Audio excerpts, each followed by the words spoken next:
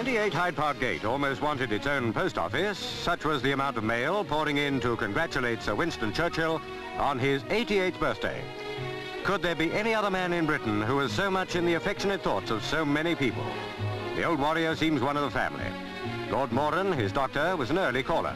He said afterwards he was quite satisfied with the condition of the patient. The two rather younger visitors had the honour of being received by Lady Churchill. They came from a local riding school, a touch that must have warmed the old man's heart.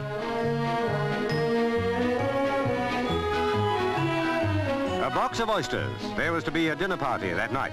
Madame Floris, with her son, created the wonderful birthday cake.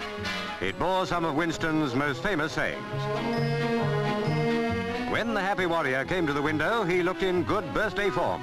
Best wishes from us all and a lot of happy returns. Princess Alexandra, sister of the Duke of Kent, provided even more wonderful news, her engagement to the Honourable Angus Ogilvy.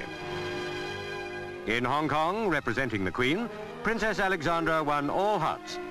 Always her dignity was leavened with great charm and humour. In a few days' time, Pathé News will show in Technicolor the official engagement pictures of the princess with her fiancé. Her happiness makes the whole nation pleased.